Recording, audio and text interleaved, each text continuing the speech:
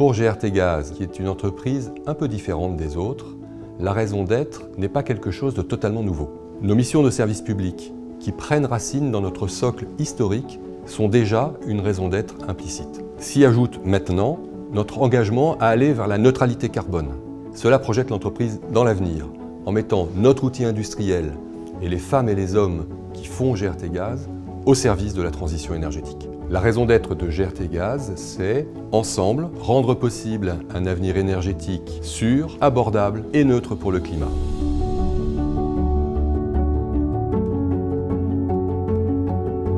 La mission de GRT Gaz est d'assurer le transit de l'énergie du début à la fin pour les clients, les territoires, la France et l'Europe. Nous garantissons la continuité de l'approvisionnement en énergie.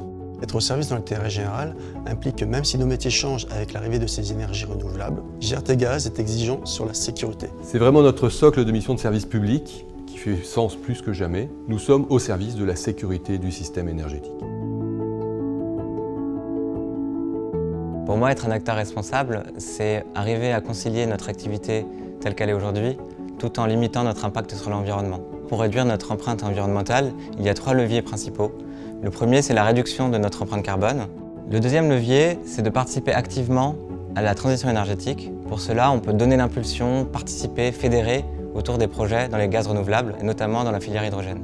Et enfin, de concilier le développement et l'entretien du réseau, tout en préservant les écosystèmes et la biodiversité. Il s'agit de notre finalité de long terme, notre combat pour le verdissement du gaz, pour le développement de l'hydrogène, pour la neutralité carbone en cohérence avec les accords de Paris. Une raison d'être, c'est une invitation à explorer. C'est une invitation à innover avec nos parties prenantes au service de cette finalité. Donc dans le cadre de GRT Gaz, il va falloir à la fois accueillir de plus en plus de gaz renouvelables, gérer une baisse des consommations, décarboner, émettre moins de gaz à effet de serre, etc. Donc le chemin vers la neutralité carbone va nécessiter de l'innovation radicale. Concrétiser l'innovation, ce sera bien sûr RICE, les challenges innovation, mais aussi et surtout la posture de chacune et chacun d'entre nous au quotidien. C'est vraiment la conviction qu'on n'arrivera pas à faire la transition énergétique, à transformer notre entreprise sans l'innovation à tous les étages.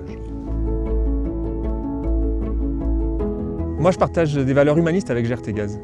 Par exemple, la bienveillance euh, ou le développement des compétences pour que le salarié se sente en sécurité dans son quotidien professionnel, mais aussi le respect de toutes euh, les diversités. L'une des priorités de GRT Gaz, c'est la sécurité industrielle et la sécurité des personnes.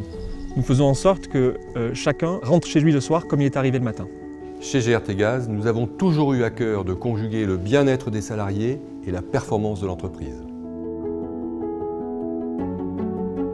L'un des engagements qui est au cœur de la raison d'être de GRT Gaz est de co-construire avec ses clients et avec ses parties prenantes un avenir qui est neutre en carbone. Nous sommes tous embarqués dans une trajectoire de décarbonation collective et donc il est essentiel de travailler ensemble dans les années qui viennent. Nos parties prenantes, ce sont bien sûr nos clients, mais c'est aussi l'ensemble de l'écosystème avec lequel GRT Gaz travaille au quotidien.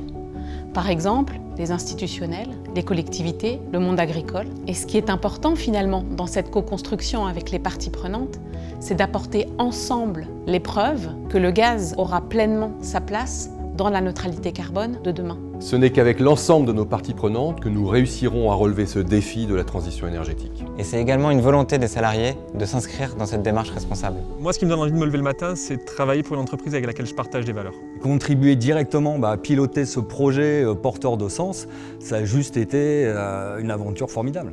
Ce qui a été extraordinairement motivant, c'est euh, l'accueil enthousiaste de l'ensemble de nos parties prenantes pour ce travail de construction collective de notre raison d'être. Ce qui me tient à cœur, ce sont nos engagements.